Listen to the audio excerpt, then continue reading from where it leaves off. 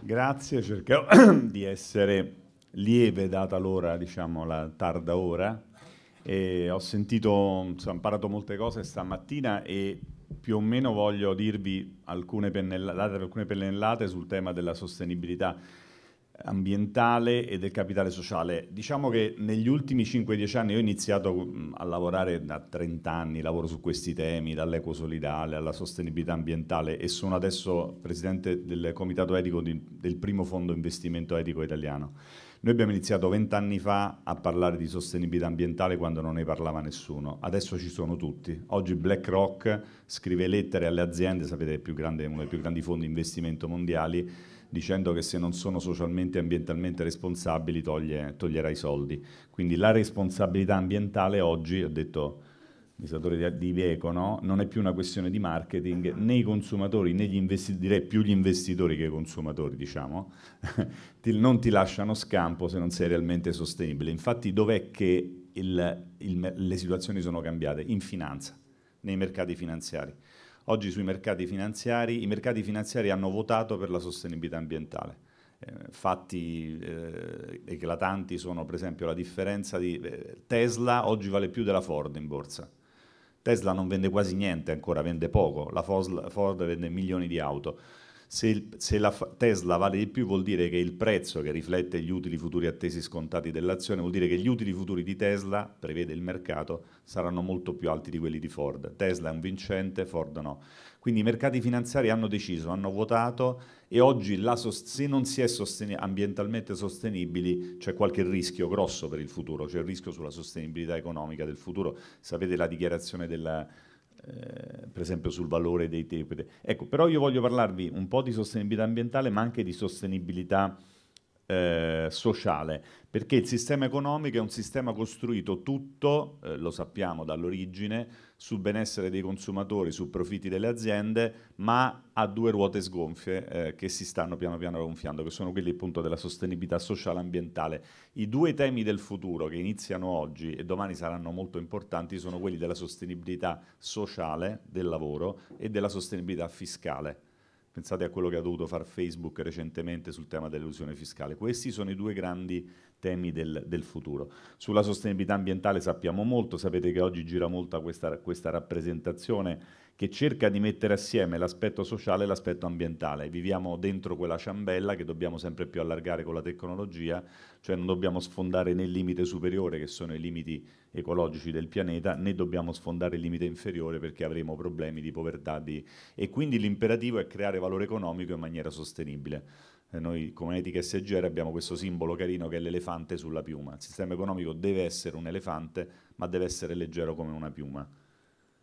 Ehm, quindi eh, sempre più si utilizzano indicatori come la CO2 sul PIL, eh, indicatori che combinano l'aspetto ambientale con l'aspetto economico. Quindi oggi il problema, la sostenibilità ambientale della creazione di valore economico si misura attraverso l'impronta di carbonio del GDP quanto, quanta CO2 si produce per GDP. Poi a livello micro sappiamo è la carbon footprint dei prodotti, è la carbon footprint dei nostri portafogli. Eh, questo è un dato molto interessante, è uno studio recente, milioni, migliaia e migliaia di dati, e è il rapporto prezzo-utili, e sapete che c'è una, una, una, banca dati oggi che si chiama RepRisk, che misura l'indice di reputazione ambientale delle aziende, che usano tutti i fondi di investimento in borsa, e eh, abbiamo preso le aziende, gli anni eh, in cui le aziende avevano rep risk zero e gli anni in cui le aziende avevano rep risk positivo, cioè un rischio ambientale, eh, nel, nel, parlare dei media, dei blog, eccetera, eccetera. C'è una differenza enorme, questo è solo il dato descrittivo, ma poi econometricamente più sofisticato, eccetera, c'è una differenza enorme nel rapporto, nel rapporto prezzo-utili. Le aziende che hanno una reputazione ambientale più alta hanno un rapporto prezzo-utili più alto, quindi attesa di utili futuri maggiori. La stessa storia del discorso Tesla-Ford e se volete del discorso Ilva-West Alpine, che sono le due grandi imprese di acciaio che producevano nei centri urbani da anni,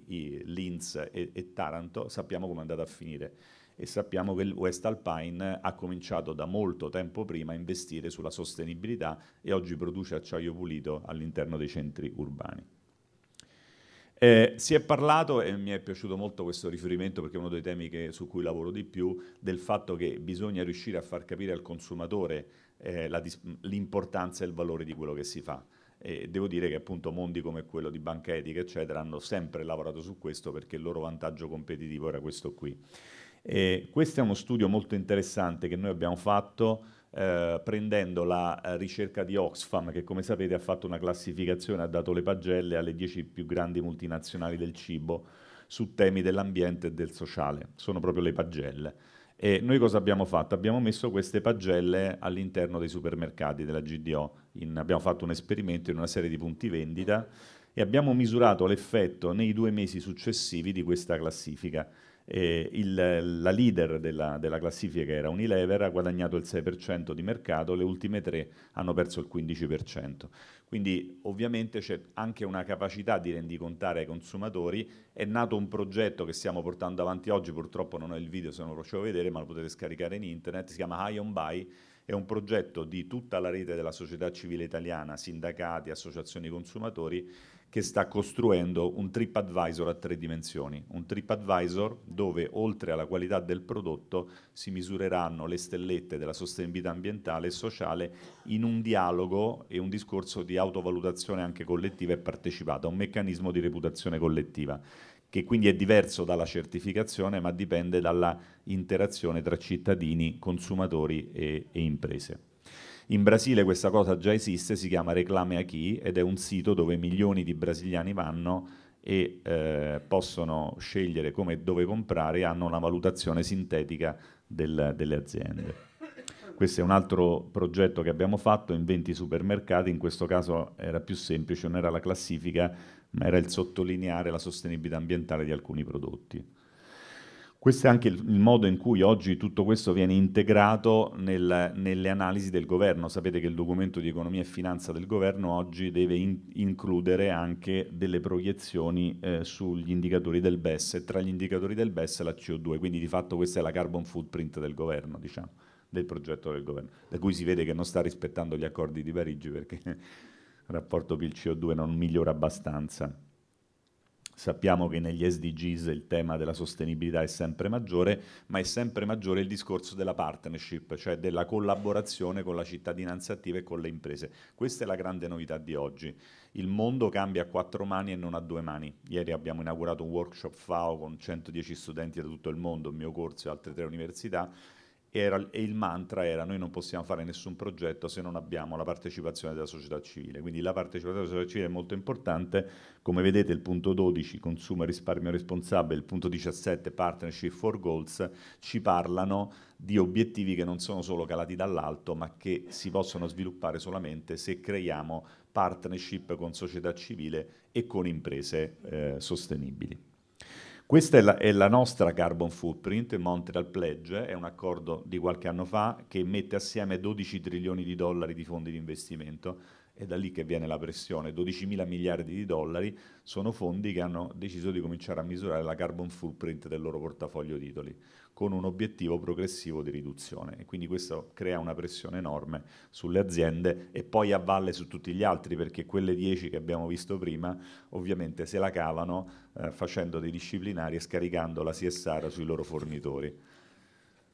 Quindi tutto scende a valle. Questo è il modo in cui misuriamo anche l'impatto di tutto questo, è un po' come il biglietto delle ferrovie dello Stato, cioè misuriamo quanto investire, eh, e questo è anche interessante forse dal punto di vista vostro, cioè dare al cittadino una misura dell'impatto della generatività della loro scelta, per esempio del vostro prodotto rispetto a un, a un benchmark di, di, mercato sui temi della sostenibilità. Eh, però, ripeto, il tema della sostenibilità sociale è molto molto serio e sta scoppiando, è anche il tema politico di oggi. Cioè noi sappiamo che nel mondo, questo è lo spaccato di Oxfam sul settore tessile, Uh, tra il 40 e il 60% dei lavoratori del tessile sono sotto il salario minimo di quei paesi e il salario minimo di quei paesi è un quarto del salario di sopravvivenza. Quindi il problema qual è? Il problema è che in tutto il mondo abbiamo un problema di dumping eh, sociale e il dumping sociale fa sì poi che la crescita di produttività nei nostri paesi non si accompagna a una crescita dei salari eh, e fa sì soprattutto, crea soprattutto questa cosa che poi mh, voi vedete sui consumi, cioè crea una, una, una divaricazione della società, una polarizzazione della società. Da una parte abbiamo gli high skilled, che sono quelli nei paesi ricchi e nei paesi poveri, con competenze elevate, con la cui quota lavoro, lavoro prodotto sta crescendo, dall'altra abbiamo i low skilled, che sono quelli con competenze basse che competono con le macchine, con lavoro a basso costo dei paesi poveri ed emergenti e i cui salari precipitano. A questi due mondi corrispondono due stili di consumo diversi. I low skilled vanno necessariamente verso gli hard discount, verso il prezzo, il prodotto a bassa qualità, eh, gli high skilled sono quelli eh, più sensibili a tutto il tema dei prodotti sulla sostenibilità. Eh, e questo poi produce anche un problema politico perché ovviamente una parte molto importante dei cittadini nei paesi ricchi è, eh, ricade proprio in quel gruppo che sta perdendo terreno. Quindi la sostenibilità sociale sarà un grande tema del futuro. Per quanto riguarda... Eh, um, eh, ecco, l'altra cosa che volevo dirvi era questa sul capitale sociale. Io giro molto l'Italia, e, mh, seguo anche molto il mondo del, dell'agricoltura e il tema del capitale sociale è nato uh, cioè dell'importanza di stare assieme, dell'uno più uno fa tre, noi lo chiamiamo, della superadditività, è nato proprio sull'agricoltura, non a caso. Perché in agricoltura, lo sappiamo, se ci si mette insieme si risale la catena del valore, si creano cooperative, consorzi, eccetera, eccetera. Se si rimane soli si ha molto meno potere e massa critica. Ecco, questa famosa eh, motto, diciamo questo famoso aforisma di Hume, racconta la storia di due produttori agricoli. 1742, pensate, è la base di tutto quello che noi abbiamo fatto poi dopo, dilemma del prigioniero, trasgame, giochi della fiducia, eccetera. Due produttori, uno vicino all'altro, uno dice io dovrei aiutare te, tu dovresti aiutare me, dice ma io non ti aiuto perché non provo niente verso di te, tu non lo fai con me, sono diffidente, eccetera, eccetera, e alla fine perdiamo i nostri raccolti. Cioè la vita è o 1 più 1 uguale a 3 o 1 meno 1 uguale a 0. E il segreto di tutto questo, cioè noi diciamo tecnicamente la vita è un social dilemma dove si può fare il gioco di squadra, ma eh, fidarsi è rischioso perché la fiducia ehm, avviene in un contesto di informazione incompleta e di contratti incompleti. Non esiste una protezione contrattuale con tu tutti i rischi di abuso nella fiducia. Questo è quello che noi chiamiamo capitale sociale. È bellissima la storia del nostro paese, possiamo fare i casi dell'1 più 1 uguale a 3 e i casi dell'1 meno 1 uguale a 0. Sono proprio storie, mettiamo Melinda, Copro B, tutto il mondo delle cooperative, eh, delle cooperative che funzionano in Italia e sotto ho fatto degli esempi a caso, ma esempi concreti, le nocciole nel Casertano, le arance a Caltagirone, produttori agricoli nel Salernitano, cioè persone che eh, si lamentano ma che di fatto non hanno saputo fare massa critica, non hanno, fatto, non hanno saputo mettersi insieme. Per cui per me questo è il segreto dell'economia. L'economia è il gioco del trapezzista. Cioè nell'economia è, è il gioco della fiducia è un gioco sequenziale dove c'è qualcuno che deve buttarsi, eh, senza sapere se poi sotto c'è qualcun altro che ti raccoglierà. È lì tutto il rischio. E, e noi eh, studiamo anche come economisti tutto il tema di come il capitale sociale, eh, di come il capitale sociale si produce. Cioè cosa, perché l'Italia ha livelli di capitale sociale così diversi? Il Trentino no? da una parte, l'Emilia, pensate al livello di capitale sociale che c'è a, Ferrara o a Reggio Emilia e poi abbiamo altri casi anche non dove c'è criminalità, tipo l'Abruzzo o la Sardegna. No? Quindi la storia del capitale sociale è molto molto interessante.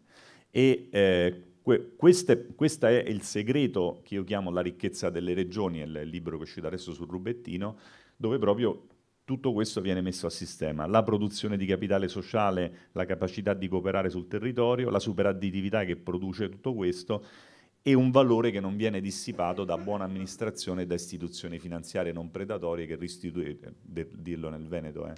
Eh, diciamo c'è qualche difficoltà ultimamente, però è molto importante poi quell'ultimo miglio, cioè le istituzioni finanziarie che raccolgono la ricchezza dei territori, la riportano sul territorio e, e, e, quindi per esempio oggi noi misuriamo dal dividendo eh, delle fondazioni del territorio, noi sappiamo quanta ricchezza è stata prodotta nel territorio, nella storia e quanta di quella ricchezza ancora lì è, è rimasta. Eh, la, la, la, eh, diciamo le, le, regole d'oro per creare capitale sociale, molto interessanti, alcune sono molto micro, altre meno, per esempio come nascono le fondazioni di comunità, gli acceleratori di capitale sociale, sapete, fondazioni che raddoppiano capitale sociale creato da persone sul territorio. Molto interessante è, è, la, è il punto 2, è un po' difficile da dire, ma proprio, sono proprio casi di cooperazione agricola, penso alla Locride, penso a Goel Bio, quindi cooperazione agricola in terreni molto difficili. La cooperazione nasce eh, anche grazie alla pratica del gift exchange, del dono, cioè quando ci sono delle persone che danno di più di quello che dovrebbero dare da un punto di vista diciamo, statutario, legale o delle competenze. E perché è quel dare di più che produce la fiducia, quel gift exchange, quella capacità di dono crea fiducia, crea relazioni e quando si creano relazioni poi eh, violare quella, quelle relazioni che si sono create diventa più costoso che mantenerle.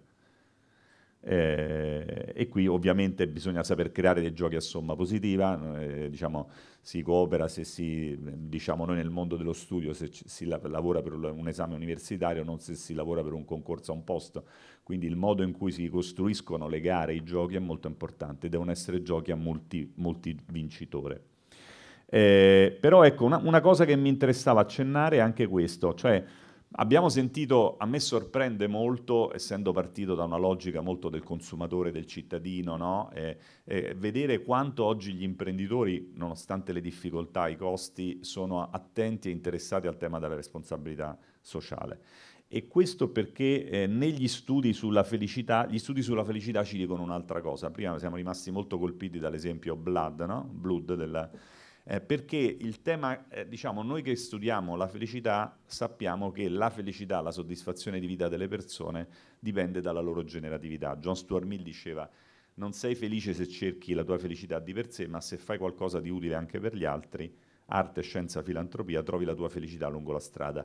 Oggi c'è una nuova generazione di imprenditori, almeno ne vediamo molti così, che sono più ambiziosi perché non mirano solo al, al profitto, ma mirano al profitto e all'impatto. Cioè, oltre al profitto, vogliono avere un impatto, vogliono essere generativi. Pensate anche a tutta la nuova generazione dei, dei grandi del digitale, no? cosa stanno facendo adesso? Gates, Amujar, eccetera. Cioè c'è questo desiderio, oltre di far soldi, di, di, di, fare, lasciare qualcosa di utile per il proprio territorio. Quindi la generatività, l'impatto è una molla enorme che oggi sta cambiando, quindi non c'è solo il fatto che ti devi adeguare alle no- nuove normative, che ti devi adeguare alla pressione dei fondi di investimento, eccetera, eccetera, ma c'è anche secondo me un desiderio che nasce dagli imprenditori. E c'è questo dato interessantissimo che noi abbiamo misurato, correlazione tra sense of life e mortality, la povertà di senso della vita è una malattia, cioè le persone che, questo è un campione degli over 50 in tutta Europa, eh, dichiarano eh, una bassa ricchezza di senso della vita hanno anche una mortalità più alta. Vado verso la conclusione per dire che secondo me questa è anche un'opportunità, quella della sostenibilità. Oggi non vendiamo una commodity, ma vendiamo una commodity, cioè la nostra eh, competitività si gioca su tre dimensioni.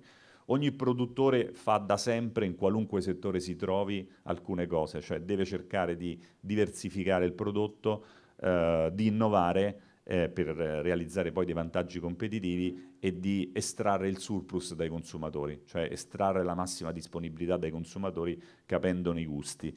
Oggi ci muoviamo su tre dimensioni, non si vendono pere, mele e latte, ma si vendono prodotti, si vendono simboli dentro quei prodotti. Eh, l'ultimo incontro sono stato al Forum Agroalimentare a Milano Marittima ed era interessantissima presentazione di tutta una serie di attori Grana Padano, altri, che, e tutte le nuove linee no? uh, free from uh, o salute o sostenibilità o bio, eccetera. Quindi la diversificazione la segmentazione eh, si caricano i prodotti di simboli, di valori, ok?